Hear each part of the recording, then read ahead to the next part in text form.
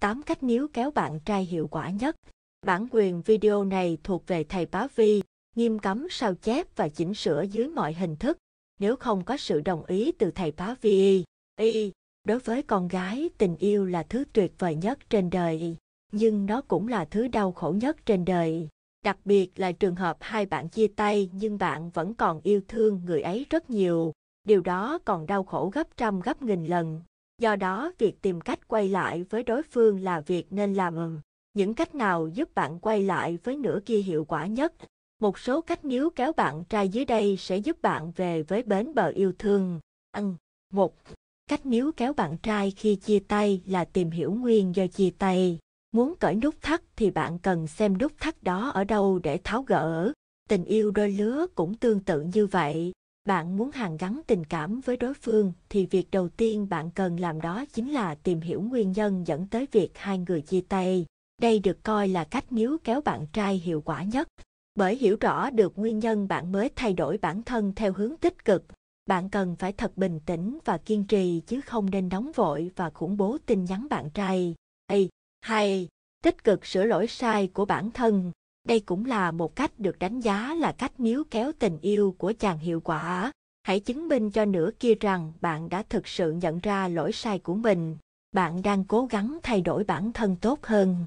Bạn thật sự coi trọng mối quan hệ này và đang cố gắng từng ngày để được quay lại với nửa kia. Yeah, ba, bình tĩnh dù trong hoàn cảnh khó chịu nhất. Chia tay là việc không ai mong muốn. Chính vì thế thay vì buồn bã, ủ rũ vì một người ra đi thì bạn cần bình tĩnh sắp xếp lại cảm xúc cá nhân của mình. Có nhiều người tìm đến rượu hoặc những buổi chơi thâu đêm. Điều này thật sự không tốt cho bản thân bạn. Ừ.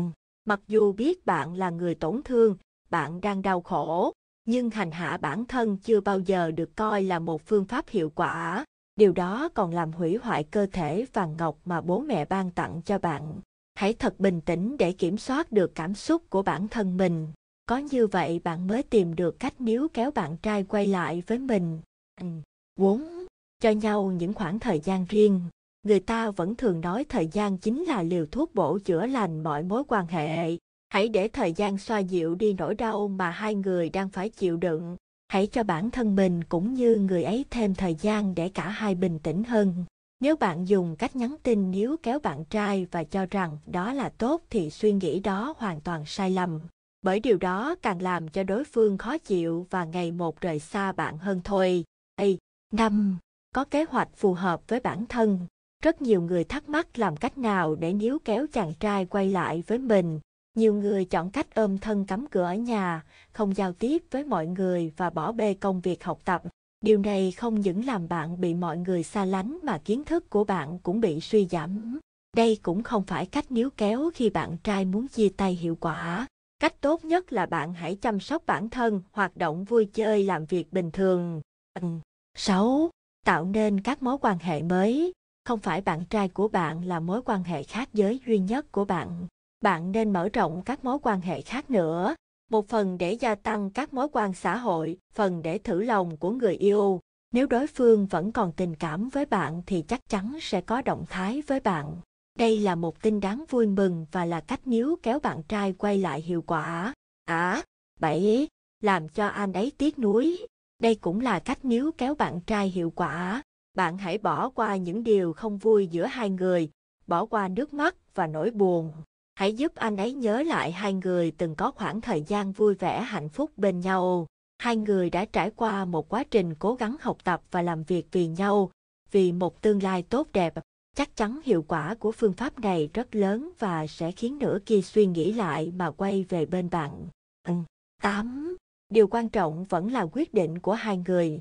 Mọi điều bạn làm cho người ấy sẽ trở nên vô nghĩa nếu như nửa kia chẳng còn tình cảm với bạn nữa. Chính vì vậy đối phương có quay lại hay không còn phụ thuộc vào tình cảm dành cho bạn nữa. Nhưng dân gian vẫn có câu mưa dầm thấm lâu, mọi cố gắng của bạn sẽ được đền đáp nếu bạn thật sự yêu người đó. Ó, chia tay là điều không ai mong muốn, đặc biệt là đối với những người yêu nhau thật lòng. Khoảng thời gian sau chia tay chính là khoảng thời gian khó khăn nhất của hai bạn. Nhưng đừng vì những điều đó mà nản lòng.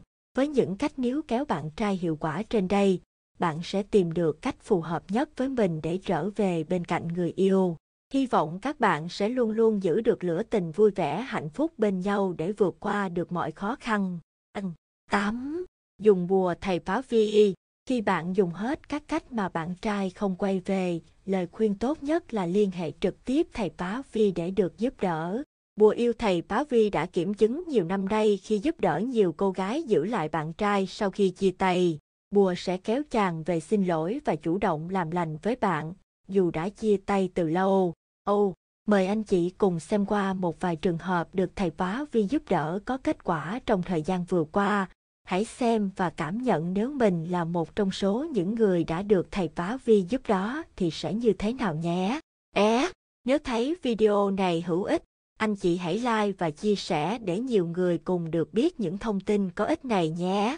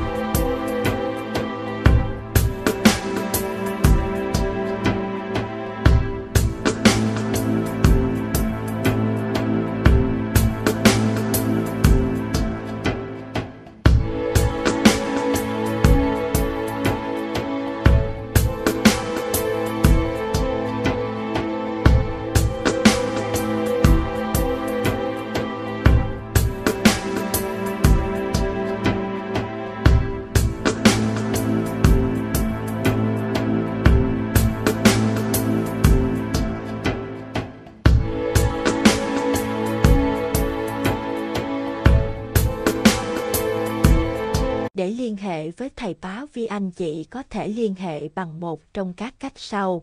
Một liên hệ qua Zalo.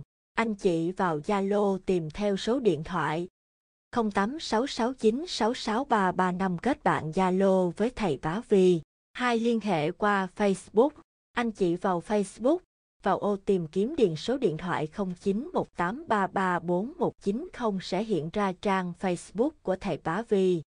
Ba nhắn tin qua số điện thoại, ứng dụng Viber hoặc WhatsApp 0918334190 để nói chuyện trực tiếp với thầy Bá Vi. 4. Liên hệ qua mail cua nhi 255 gmail.com Chúc các anh chị sớm đạt được điều mình mong muốn.